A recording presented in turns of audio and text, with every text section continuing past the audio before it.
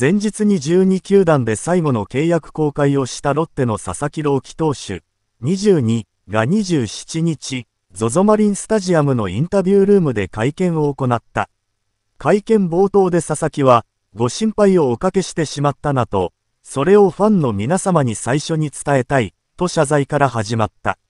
紺のスーツに水色のネクタイで登場した佐々木はまず、心配をかけたファンへ謝罪すると、メジャーリーグへの移籍については、球団としっかりコミュニケーションをとってきた。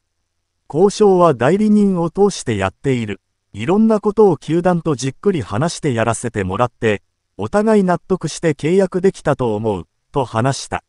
佐々木はプロ4年目で初の越年契約となり、昨季は15試合に登板して7勝4敗、防御率1.78の成績を残した。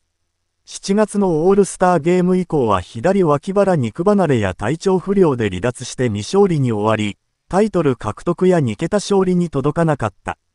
佐々木朗希投手、22が27日、ZOZO マリンスタジアムのインタビュールームで会見を行った。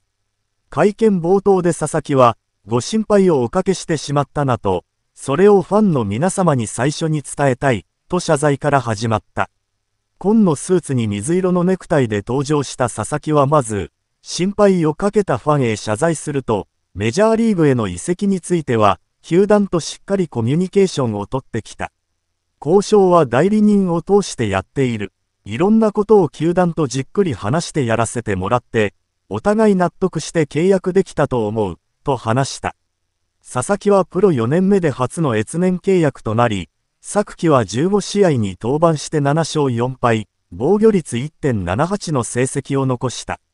7月のオールスターゲーム以降は左脇腹肉離れや体調不良で離脱して未勝利に終わり、タイトル獲得や2桁勝利に届かなかった。